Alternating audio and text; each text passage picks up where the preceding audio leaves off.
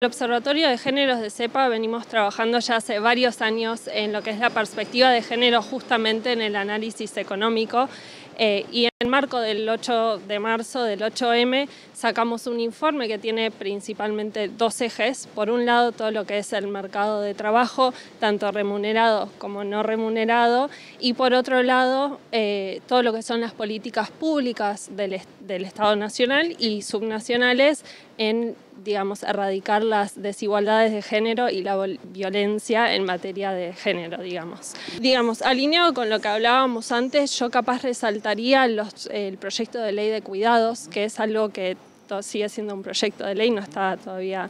eh, en funcionamiento, no está reglamentado, pero creo que va un poco en esta línea de lo que hablábamos de eh,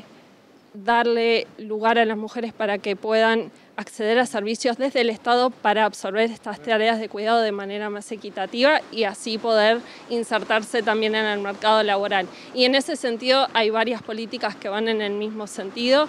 y después también... Eh, no, no voy a hablar de alguna política puntual, pero creo que aquellas políticas que permiten una visibilización de estos temas tanto a partir de capacitaciones, todo lo que sea cupos de trabajo para mujeres o incentivos, digamos, desde bancos, como puede ser el de eh, bancos hacia empresas que emplean mujeres en, puestos jerárquicos, eso también está en el informe, políticas en ese sentido que permiten que, además de ser empleadas eh, en el sector privado, público, lo que sea, lo hagan en, con las en las mismas condiciones que lo hace un varón.